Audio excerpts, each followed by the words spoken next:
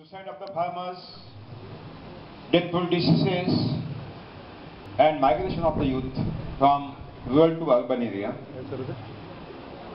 இந்த பசுமை புரட்சியானது நம் நாட்டில் எத்தகைய பிரச்சனைகளை உருவாக்கியது என்பதை பார்த்தோம் புவி வெம்மையானது நம் வளங்கள் அழிந்துவிட்டன கிராமத்திலிருந்து மக்கள் வெளியேறினார்கள் நம் இளைய தலைமுறைகளும் கிராமத்திலிருந்து நகரங்களுக்கு வெளியேறி சென்றார்கள் போன்ற பல வகையான பிரச்சனைகளை இந்த பசுமை புரட்சியால் புகுத்தப்பட்ட இந்த ரசாயன வேளாண்மை மற்றும் பிறகு வந்த அங்கக வேளாண்மை எவ்வாறு ஏற்படுத்தியது என்பதை நாம் நேற்று பார்த்தோம் Yesterday we have seen what is the natural system which is existed in the forest and that system is a self-reliant, self-nourishing, self-sufficient, self-developing system by which all the nutrients are available to the plant body without any human existence and assistance. அதே போல நாம் நேற்று என்ன பார்த்தோம் என்றால் அடர்ந்த காடுகளில் மனிதர்கள் அங்கு போகாத காலடி எடுத்து வைக்காத காடுகளில் கூட எத்தகைய உதவியும் இன்றி அங்குள்ள ஓங்கி வளர்ந்த மரங்கள் எவ்வாறு எண்ணிலடங்காத பழங்களை கொடுத்து வந்தன? அங்கு இறைவனால் ஏற்படுத்தப்பட்ட ஒரு அமைப்பு அவற்றை எவ்வாறு தற்சார்புடைய ஒரு அமைப்பாக மாற்றியுள்ளது? அதற்குரிய நீர் மற்றும் நுண்ணூட்டங்கள் எவ்வாறு கிடைக்கப் பெறுகின்றன என்பதை நாம் நேற்று தெளிவாக பார்த்தோம். And we have seen that the soil is totally saturated by all nutrients. Soil is ocean of the nutrients, soil is Annapurna. And what are the claims are done by the agro universities are totally false, totally wrong. How the agro universities are misguiding the farmer and nation also. மேலும் நாம் என்ன பார்த்தோம் என்றால் நம் மண்ணில் எண்ணிலடங்கான கடல் போன்ற நுண்ணூட்டங்கள் மற்றும் பேரூட்டங்கள் அடங்கியுள்ளன அவை தற்சார்புடையது அதனால் எந் வெளியிலிருந்து எந்த ஒரு இடுபொருட்களும் நமக்கு தேவையில்லை என்பதை பார்த்தோம் வேளாண் பல்கலைக்கழகங்கள் இதுவரை கூறி வந்த அனைத்தும் பொய் என்பதையும் நாம் பார்த்தோம் And we have seen what are the nutrients are existed in the soil. They are in non-available form. That means the roots cannot take straight. How to convert non-available to available form and what is the role of the microorganisms we have seen yesterday.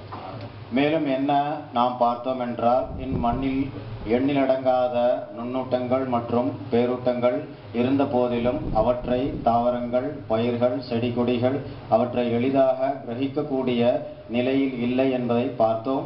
அவற்றை எளிதாக கிரகிக்கக்கூடிய தன்மைக்கு மாற்றி அமைப்பதற்கு கடவுள் ஒரு அமைப்பை உருவாக்கியுள்ளார். அவை நுண்ணுயிர்களாகும். அந்த நுண்ணுயிர்கள் மண்ணில் எவ்வாறு வரும் என்பதையும் நாம் பார்த்து அறிந்து கொண்டோம் And the variable, the variable species of the beneficial effective microorganisms which are actually involved in the conversion process non-available to available. There is a great important role the God has given to these species. நாம் பல நன்மை செய்கின்ற நுண்ணுயிர்களை பார்த்தோம் அவை எவ்வாறு இந்த நுண்ணூட்டங்கள் மற்றும் பேரூட்டங்களை எளிதில் பயிர்கள் கிரகிக்கக்கூடிய தன்மைக்கு மாற்றி கொடுக்கின்றன என்பதையும் நாம் பார்த்தறிந்தோம் And we have seen Deshi cow dung, that means local cow dung, is the best culture of the microorganisms. And what is the role of the Deshi cow in the availability of the all nutrients which are in stage of non-available and how they are converted in available form. மேலும் இந்த நன்மை செய்கின்ற நுண்ணுயிர்கள் அனைத்தும் எவ்வாறு நம் நாட்டு மாட்டின் சாணத்தில் அடங்கியுள்ளன?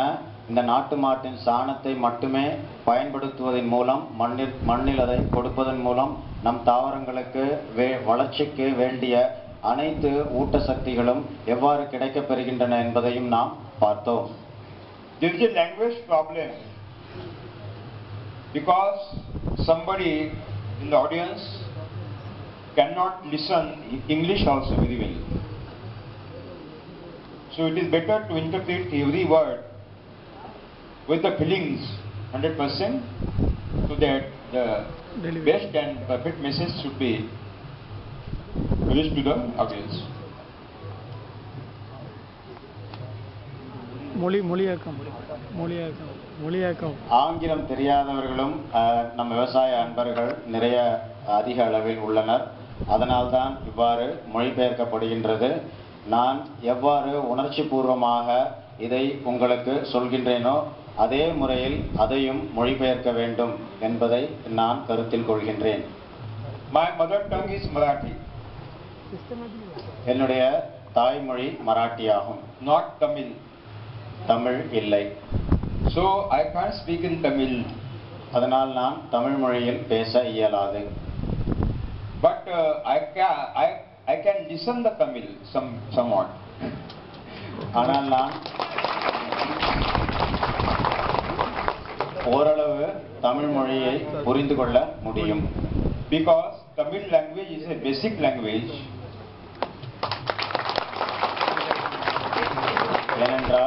Tamil ஒரு அடிப்படை மொழியாகும். And oldest language in இந்த in the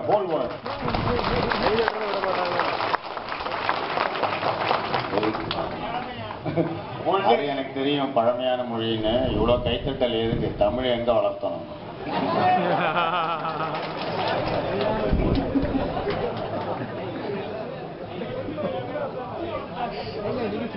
பேசிக்கலி சாப்பிட்டு तमिल तो पुरातन लैंग्वेज है लेकिन उसको बढ़ाया नहीं कोई।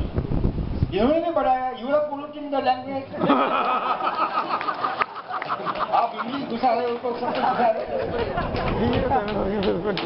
अगर अंग्रेज़ी नहीं घुसाएँगे ना कभी कभी समझ में आता भी नहीं है। ऐसा नहीं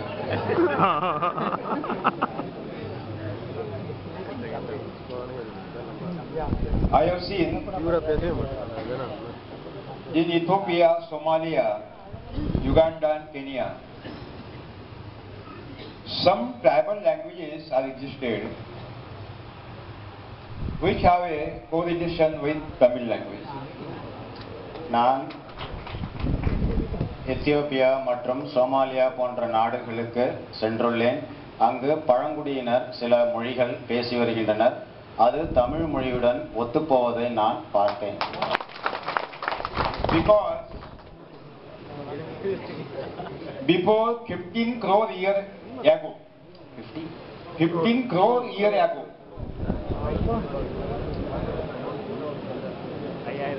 Indian subcontinent was joined to African once. 15 crore साल पहले இந்துஸ்தான் ஆப்பிரிக்கா சே ஜுடா தா பதினைந்து கோடி ஆண்டுகளுக்கு முன்பாக நம்முடைய இந்திய துணை கண்டமானது ஆப்பிரிக்கா கண்டத்துடன் இணைந்துதான் இருந்தது.